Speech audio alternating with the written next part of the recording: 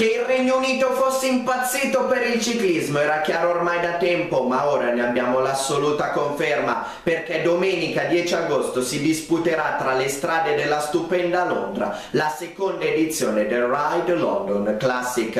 Questa gara sarà perfetta per le ruote veloci e si inserirà in uno splendido weekend londinese all'insegna delle biciclette. La partenza sarà data dalla zona est della capitale poiché si scatterà dal Parco Olimpico olimpico, dopodiché seguendo a tratti il tracciato dell'Olimpiade 2012 la corsa si trasferirà nella campagna intorno a Londra prima di rientrare nel cuore della capitale britannica per l'ormai abituale e suggestivo arrivo su The Mall di fronte a Buckingham Palace dove l'anno passato vinse il francese Arnaud Demar e dove quest'anno all'ultimo tour trionfò il tedesco Marcel Kittel. Come potrete immaginare la star list sarà imbottita di velocisti partendo proprio da Kittel che dovrà vedersela con Boss, Viviani, Sagan, Goss, Ciolek, Bonen e molti altri. Grande attesa ci sarà pure per la Sky di Wiggins e forse di Froome. Dunque l'amore britannico per il ciclismo verrà ribadito dopo lo stucchevole inizio della Grand Boucle 101.